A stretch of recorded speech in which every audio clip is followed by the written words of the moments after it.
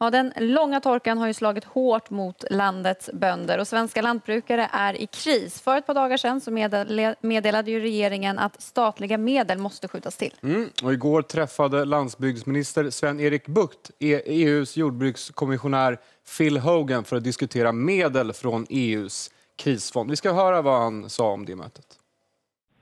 Ja, jag tog upp det bland annat om EU-stöd, men jag tog också upp om att kunna höja förtida utbetalningar från 75 till 85 procent. Jag tog upp också flexibla regler, alltså undantag i en sån exceptionell eh, situation. Och jag fick, eh, tycker jag, ett väldigt positivt eh, samtal och svar på mina frågor också.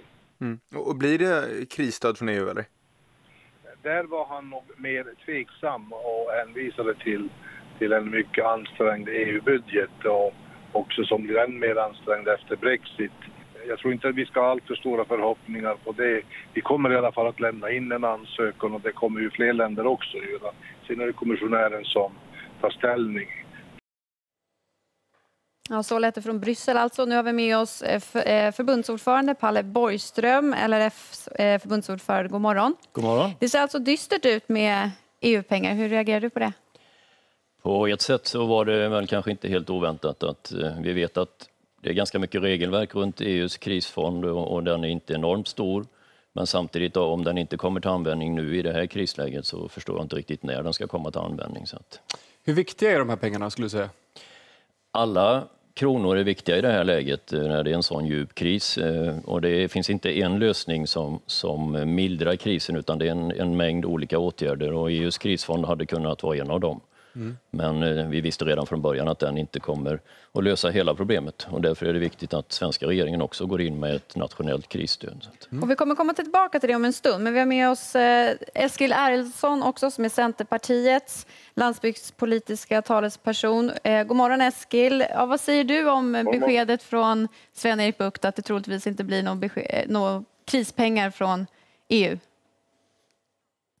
Ja, jag tycker att Erik ska ligga på ytterligare, eh, se till att eh, få med sig sina kamrater, eh, det vill säga andra jordbruksministrar ute i Europa, som nu och då också råkar ut för katastrofer. Sverige har ju aldrig tillhört de som har behövt att utnyttja EUs katastrofsystem tidigare och jag tycker i den katastrof som är just nu så skulle Sven-Erik ligga på ytterligare så att vi får del av de här pengarna för det måste skapas likviditet i systemet.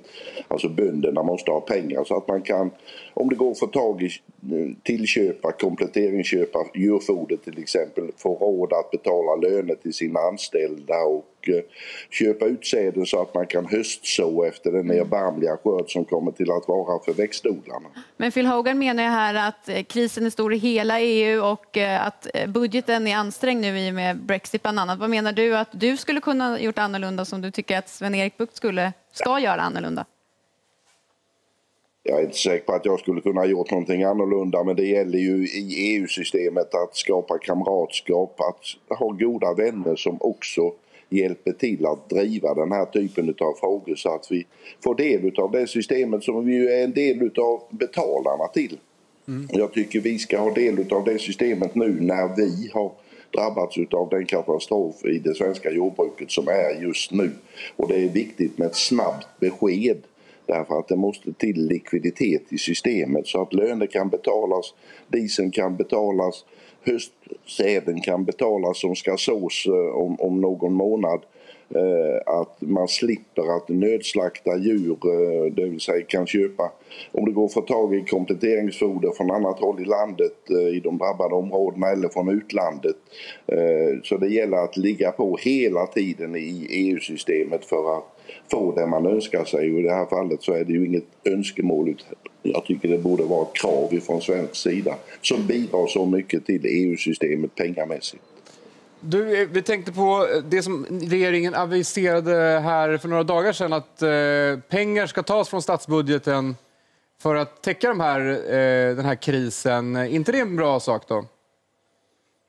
Jo då, eh, det är också en nödvändighet eh, Eh, att skapa som sagt var likviditeten, framtidstro, att rädda de lantbruksföretag som vi är rädda om och som vi vill utveckla så att vi får en större livsmedelsproduktion i Sverige i enlighet med den livsmedelsstrategin som eh, riksdagen ju har tagit i relativt bred enighet.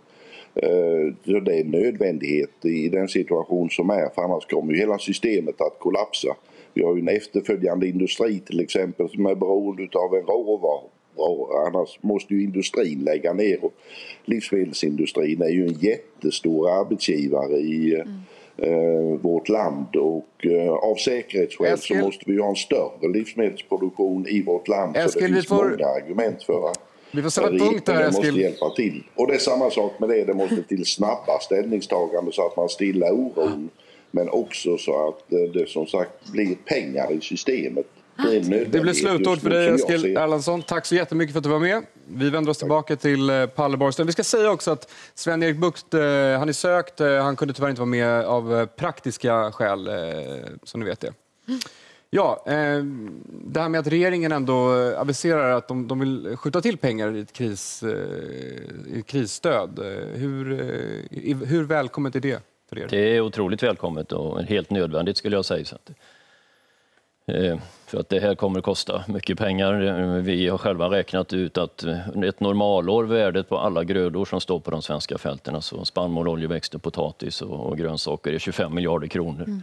Och vi pratar om skador på minst 30. Jag hör många lantbrukare som har börjat tröska nu flera veckor för tidigt som säger att ja, vi hörde det är en nyheten här att det är värsta eh, skörden ja. på väldigt, väldigt många år. Men ja. det konkret då, vad är det ni behöver om man går, det går att få ner det, till? vi har en ganska lång åtgärdslista och man kan gruppera den i några olika områden. Dels så handlar det om ett antal detaljer där vi behöver dispenser från olika regelverk och lagstiftning som är omöjliga att uppfylla nu när, i den här torkan. Vilka regelverk måste ändras? Ja, det, handlar om kanske delar i djurskyddslagen. Man kanske behöver kunna ha djur ute längre i, höst för att verkligen utnyttja det sista betet än vad djurskyddslagen egentligen tillåter. Det, vi fick redan för en månad sedan undantag att skörda en del areal i kantzoner och trädor och sånt som man normalt inte får skörda förrän senare på sommaren. Och, och där vill jag säga, där har vi ett väldigt bra samarbete med både Näringsdepartementet och Jordbruksverket och, och de jobbar väldigt engagerat och konstruktivt. Mm. Men sen det här kommer att kosta, eh, den grova beräkningen är mellan 5 och 10 miljarder kronor och de pengarna finns inte hos bönderna. Att de, är det då 5 till 10 miljarder kronor behöver från skattebetalarna också? Ja, alltså det är det det kommer att kosta. Eh, om inte en ganska stor del av det ersätts från skattebetalarna så kommer väldigt många svenska bönder att få lägga ner sin verksamhet och gå i konkurs. Är det rimligt ändå att, att det de här pengarna skjuts till, att det är ändå pengarna från, från skattebetalarna, tycker du? Det är det och de ska man ju vara varsam med. Men, men det här är en kris i en sektor som faktiskt är bärande i det svenska samhället och, och det är en kris som, som går långt utöver normal vädervariation. Vi, en del jämför faktiskt med eh, de här åren på 1860-talet när man svalt och fick eh, emigrera till, till Amerika. Och, och det, vi har en liknande situation nu, men på grund av att vi handlar med andra länder och, och har en mer välutvecklad ekonomi så mm. kan vi hantera det så att det, det kommer inte vara brist i butikshyllorna, men det kommer vara brist på svenska produkter mm. i butikshyllorna. Jag måste tyvärr sätta punkt där. Tack snälla Palle för att du kom hit. Vi fortsätter såklart att följa krisen inom lantbruket.